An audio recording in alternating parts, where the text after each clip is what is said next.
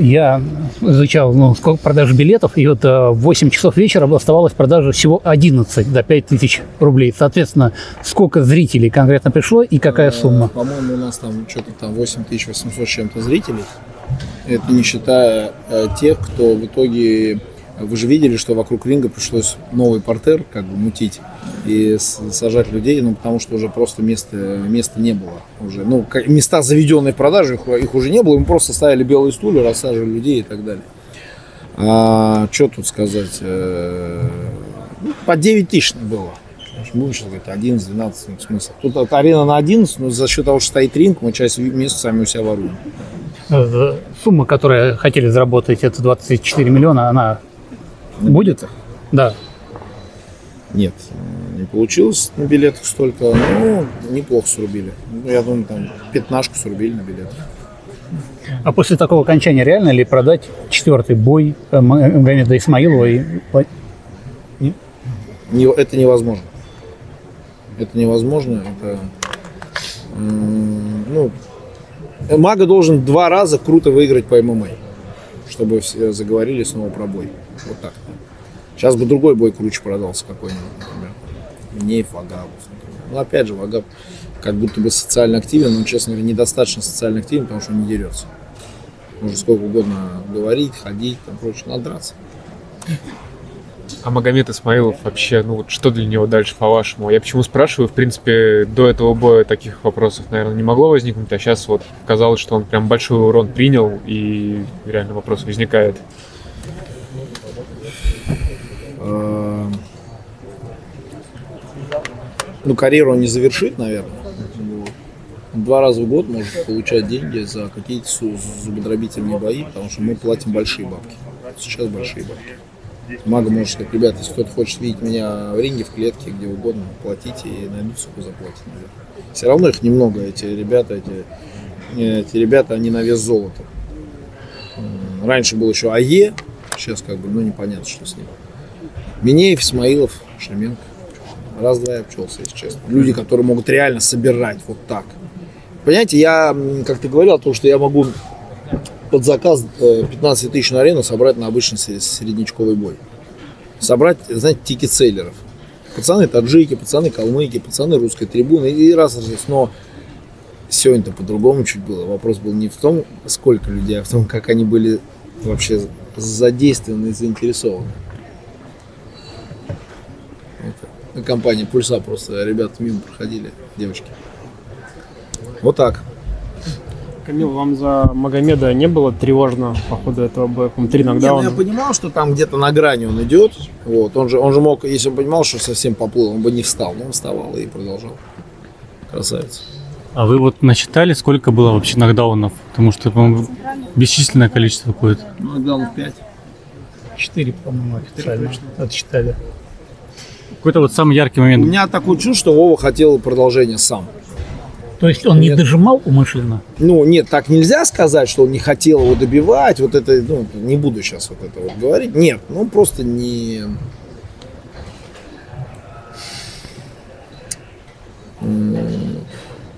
Это же с рисками тоже связано.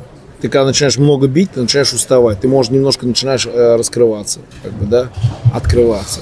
Можно было пропустить банку. Мага все равно даже на фоне того, что сильно устал, продолжал выбрасывать удары. Было же? Вагиф, надо у Вова подписать перчатки. Друзья, в этой небольшой паузе хотим рассказать об акции партнера нашего канала. Сегодня для всех новых клиентов доступна беспроигрышная ставка до 3000 рублей. Для участия зарегистрируйся с промокодом SAVE3 и сделай ставку до 3000 рублей. Если ставка не сыграет, наш партнер вернет всю сумму на внутриигровой счет. Переходите по ссылке в закрепленном комментарии, ставьте на своего фаворита и не забывайте про промокод SAVE3. Всем удачи! Камил, по поводу теоретических боев для Владимира, то есть понятно, что сейчас, э, наверное, в первую очередь Иван Штырков, а в целом вот э, был момент, когда э, Майк Перри с Магомедом Исмаиловым, там был какой-то теоретический бой, была дуэль взглядов. Сегодня вот как, как раз Перри с Джейком Полом ночью будут драться. А вот реально ли Перри будет привести для Владимира, то есть Россия, США, там противостояние? Сейчас кто-то улыбнется, напишет, что я там как всегда, там, несу чушь. Его никто не знает. Вот спросите, вот сегодня в зале сидели, там, 9 тысяч человек. Просто спросите, сколько из них знают, кто такой Майкл Перри. Человек 200. Кто в теме? Из них 100 это вот вы, СМИ.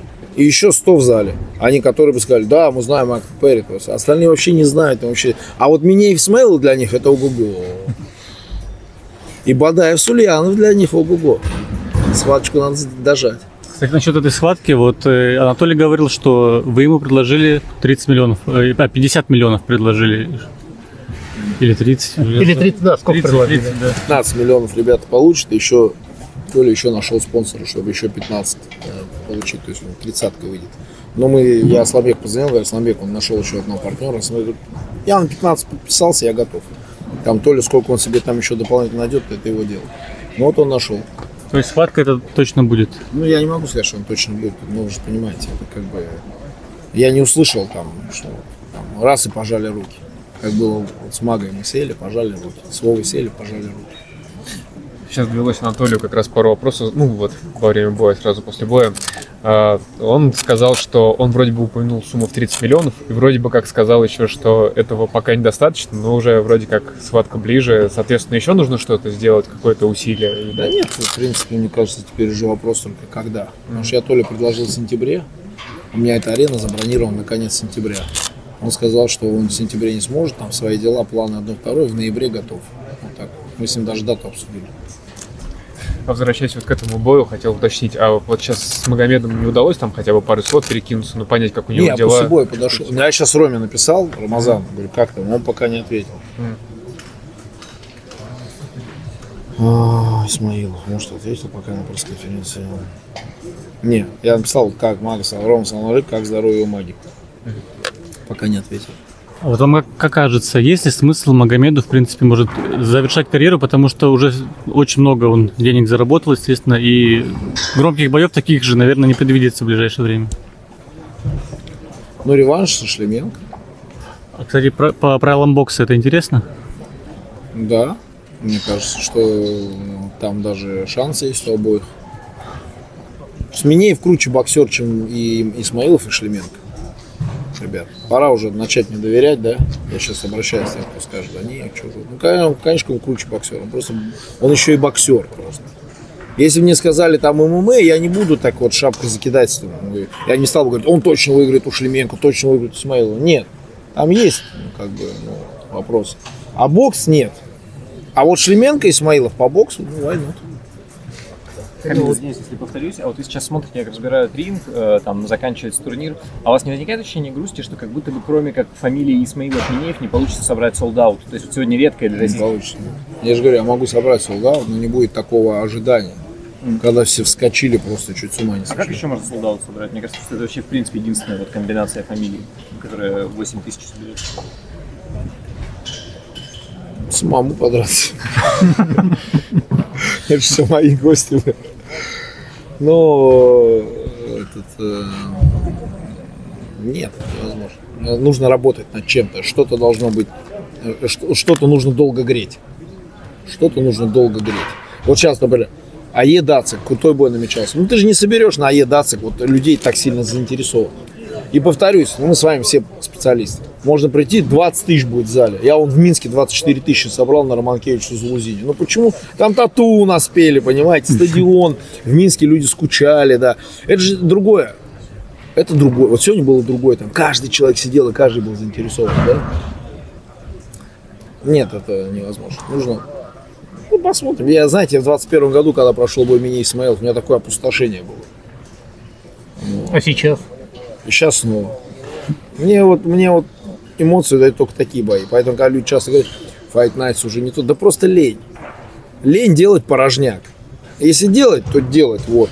Вот как сегодня, понимаете? Если делать, то... Нет, я не знаю, не знаю, что я не собираюсь другие турниры делать. Есть турнир в Ереване, у него есть какие-то, задачи. Есть турнир в Москве, в Сочи. Они, у этих турниров задачи.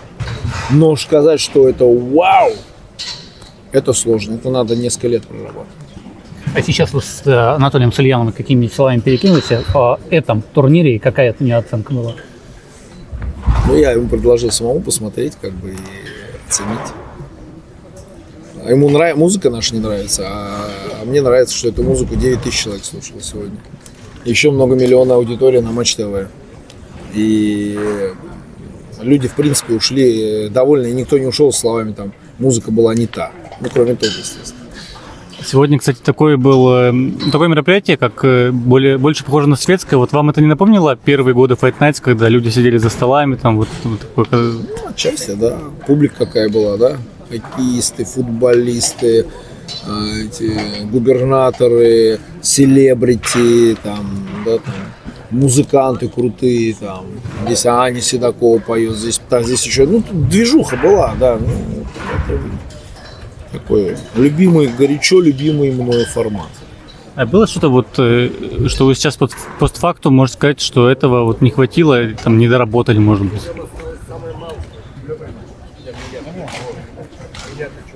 Да нет, одного боя не хватило, мне кажется, еще в андеркарде такого хорошего боксерского. Камил, вот перед этим боем был такой вокруг меня общий информаци- информационный фон, что он дерется в 24 году и завершает. Он сам говорил, меня интересуют другие вещи и так далее.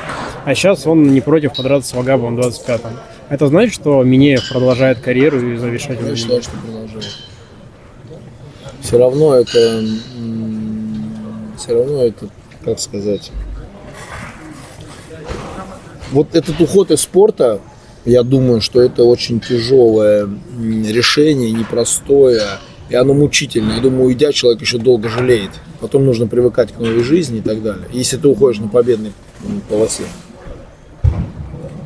Поэтому, Дима, а можете одну бутылочку Тасай кинуть? Вот. Да не, дайте лучше уж пульсап, чего уж там гулять-то гулять. Ну, вот. ну давай открытый пульсап, ничего. Вот там тоже, глянь, пожалуйста, старик. Посмотри, пожалуйста. Кстати говоря, ребят, если вы следили за футболом и знаете, что Fight Night заняли третье место, то отдельные аплодисменты вот этому человеку. Это он а, нашу команду тащит. Э, Это его идеи, как за маленькие деньги сделать большой результат. Вот, давай, пульсап. Блин, Дима, там вообще на дне. Сори. Ну, короче, вот этот уход из спорта, ну, это Вова, Вова еще не, не пришел к этому. Считаю. Ему еще вот нужен этот драйв, еще вот эти люди. И я могу сказать, вы знаете, вот он сегодня показательно очень было, что он же не просто дерется, он, он сегодня, в принципе, ведет социальную работу определенно. Даже тем, что он выступает, говорит правильные вещи, на него приходят люди, он как все равно является определенным, определенным символом. Вот. И сегодня этот символизм был налицо. Камила, вот мы вчера там говорили про Дагестан, про культуру в Дагестане. А вы считаете, э, тот факт, что Магомед Исмаилов вообще таков, а повлияла ли на него как раз жизнь в России? То есть он родился в Нижнем Тагиле, много жил в Москве, и его как будто бы это научило самоиронии, готовности смеяться над собой и от какой-то лишней брутальности, может быть, избавило. Ну, как сказать, там, нет, отчасти, да. Мы все э, производные от того, где находимся, от э, круга общения и так далее. Но при этом таких дагестанцев тоже очень много. Просто почему никого Он просто не- взрослый, нет, он просто взрослый начал и решил ни на кого не обращать внимания. А всем умникам, которые ему звонили, он говорил, пацаны, окей, тогда оплатите мои счета.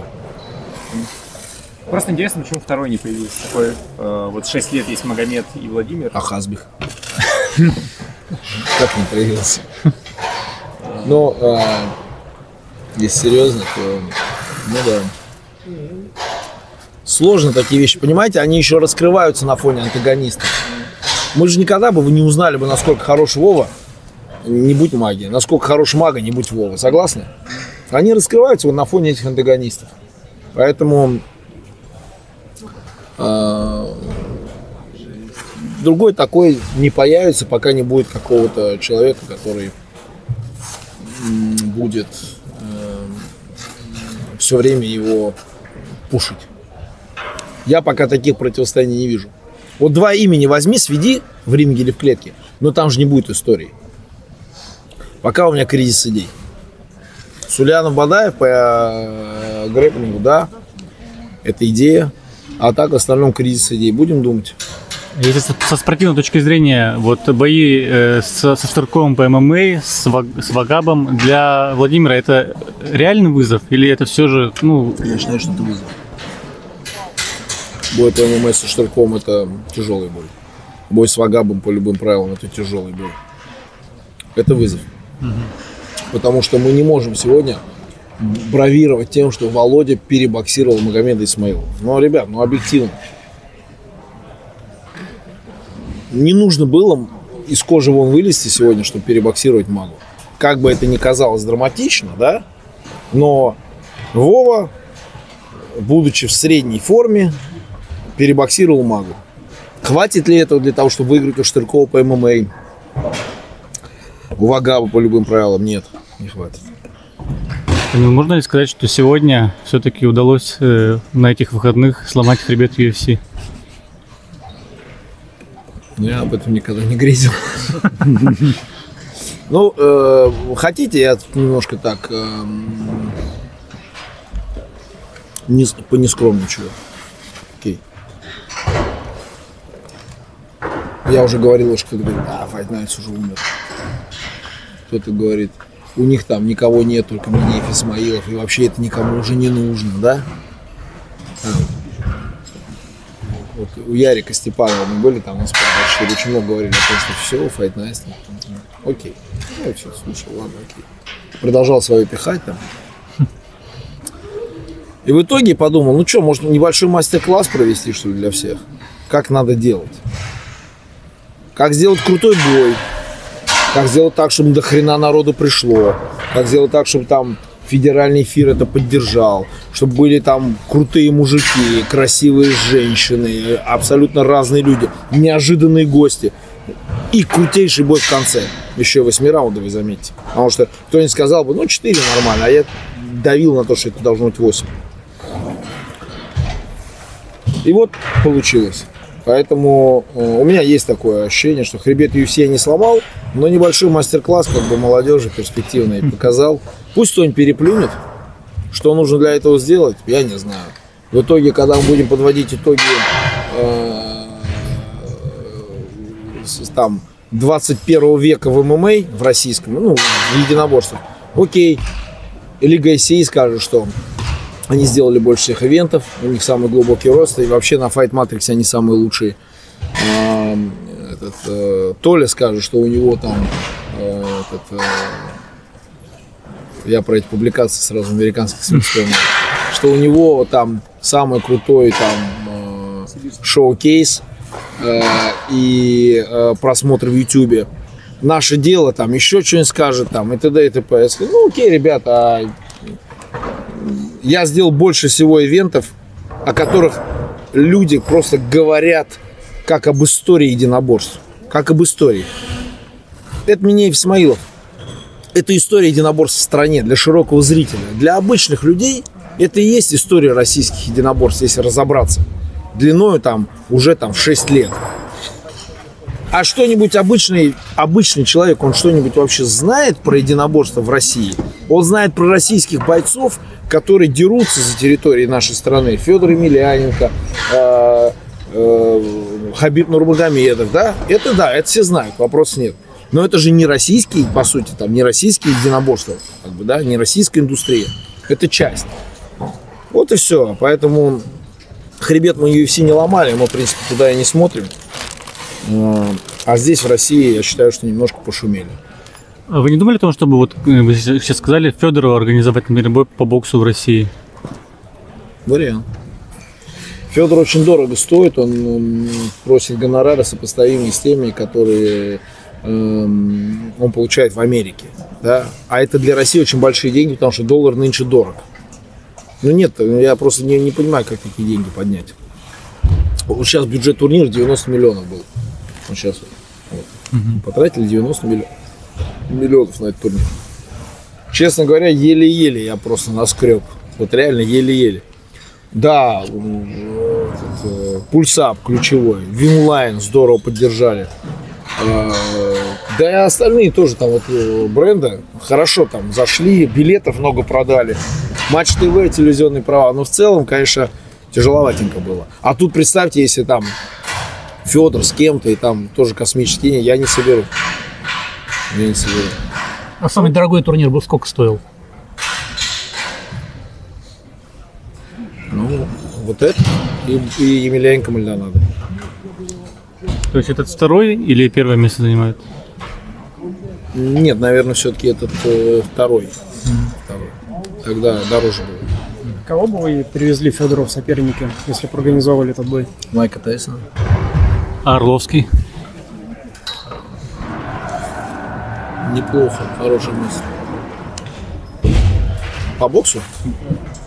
Как согласятся? Ну да. Кстати. Орловский только что контракт свой закончил с UFC, вроде как даже не против в России выступать там по разным правилам, как он сам сказал. Вот. Обратитесь к нему. Ну да, хороший бой. Вроде как э, у Орловского э, где-то я А там слышал, что Андрюха точно хочет. миллион долларов. ли Федор? Миллион долларов вы сможете найти, например, на Андрея Орловского с, кем-то, ну, интересным тоже? Не, а только, там только с Федором драться. Все остальное никому не интересно. Я вас уверяю. Харитонов. Нет, нет, поверьте, как бы это вот мы сидим, обсуждаем.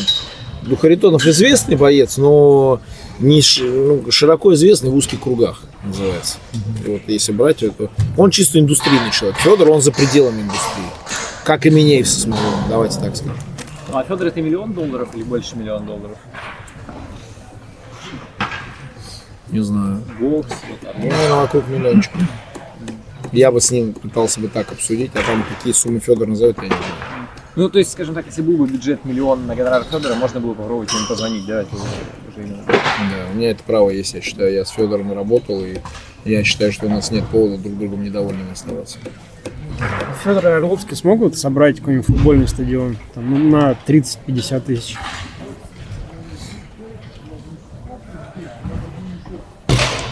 Но если готовиться, полгода, да. Ну, Это реванш. Камил, позвольте вопрос еще, ну, просто уже созрел именно в формате нашей дискуссии такой. У нас есть э, действительно такие главные имена в российских единоборствах, это Емельяненко Федор и непосредственно Хабиб Нурмагомедов, но при этом сейчас в России есть э, действительно главный паунд паунд Ислам Махачев. Вот если бы представить, ну, опять же, гипотетически, что в лице, в роли Ислама Махачева был бы, например, по уровню медийки, по уровню раскручивания себя э, Магомед Исмаилов, это был бы, не знаю, второй Конор Макгрегор, например, в ММА. Мага? Да.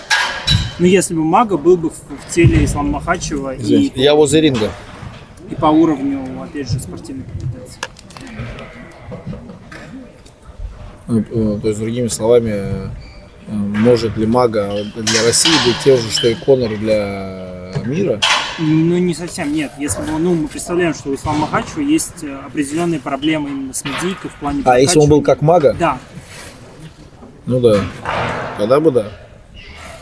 Но ислам другой, таким как Мага, уже не будет. Э, Хорошим или плохим, кому что нравится, ну, просто не будет. Исламу, э, ислам вообще уже, он номер один паунд for паунд, ему вообще уже меняться не, не надо, понимаете, да? Что мне меняться-то? Я вот номер один в мире и все. Находить мне только соперника. Но я вам могу сказать, что я считаю, что исламовские бои, они для мира сегодня, для мирового ММА,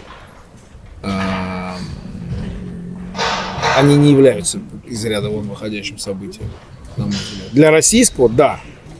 Для фанатов UFC, да. Но сказать, что бой Ислама Махачева с Парье с ума сводит людей во всем мире, ну такого честно нет. На мой взгляд, такого нет. Нет ощущения, что и в России особо не сводит с ума. Опять же, если мы там берем условно Хабиб Парье, даже или Хабиб Конор, Не, ну Хабиб вообще смотрели. тогда был в таком тренде, понимаете. Ислам Парье непосредственно, мне кажется, лично, Да, да. кроме фанатов единоборств, особо люди даже не Да. Ну, не то, что прям только фанат, чуть пошире аудитория, телек на это работает, но в целом да. Если не путаю, там ближе к осени, по-моему, или летом 2018 года ходили разговоры, что вот Владимир Минеев буквально вот-вот еще чуть-чуть и может перейти в UFC. Так этого и не случилось. Можно сказать, что выиграл Владимир Минеев от этого по итогу? Да, однозначно, что он там сидел, это, м, разогревал бы кого-нибудь сначала год, потом бы еще что-то. Но видите, у него здесь получается совмещать и СВО, и где-то би- бизнес, работу, и выступления. Ну, UFC он бы смог так делать? Да нет, конечно. Он бы очень быстро там деградировал, сошло бы все на нет. А здесь все равно есть возможность как друг под друга подстраиваться. Я под него, он под меня, мага под нас, мы под магу. Ну, понимаете же, да, о чем я? Здесь есть, скажем так, ну, э, диапазон такой, да, куда двигаться. В UFC ты что, в UFC ты просто сотрудник. До поры до времени, пока ты не стал суперзвездой. Ну что, ребят, что отпустим? Спасибо.